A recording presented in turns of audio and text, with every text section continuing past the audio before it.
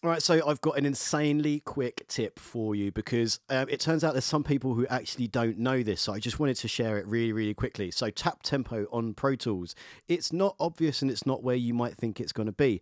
So if we want to add a tempo but we want to tap it in, let's go over here. We're going to add tempo as we usually would, and usually you just have to key it in and find what you need from there. Or you can just hit T in tempo with whatever you like. So let's go one and a two and a two and a four and a five and a six and a seven. And you'll see that the BPM starts to change just like that. When we're happy with that, okay, and that is our tempo. Let's listen. Great. And just to confirm that, let's do it with a completely different one now. So